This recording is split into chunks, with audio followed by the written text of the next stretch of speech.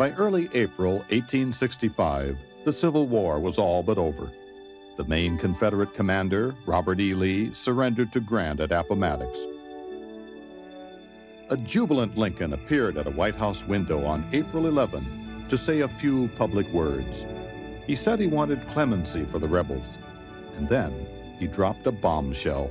He became the first president to recommend the vote for African Americans. I would myself prefer that it were now conferred on the very intelligent and on those who serve our cause as soldiers.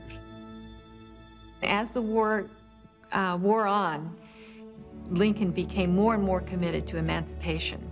Lincoln is a very complex person, and I really like that because I think it's important that we understand that um, humans are not uh, one dimensional or two dimensional people. We grow, we change.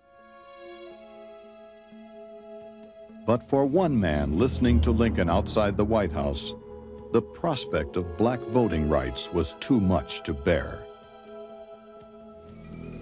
That means nigger citizenship. That's the last speech he will ever make. John Wilkes Booth, April 11th, 1865. Booth, who'd grown up in a slaveholding family in Maryland, was one of America's best known actors. He was also a fanatic for the Southern cause and had been planning for some time to kidnap Lincoln. Now, with the Confederate government about to collapse, he decided on a more drastic action. John Wilkes Booth believed that Abraham Lincoln was truly an evil man, and Booth believed that by killing him, he would be doing a service to both his nation and to his race. Booth was a white supremacist.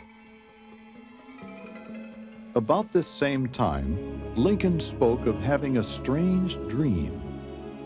He imagined himself going downstairs in his nightshirt and seeing a coffin in the East Room on a fancy catafalque, and mourners gathered all around it, sobbing. And he said something like in his dream, Who is this who lies dead in the White House? And a person said, It is the president. He has been shot by an assassin.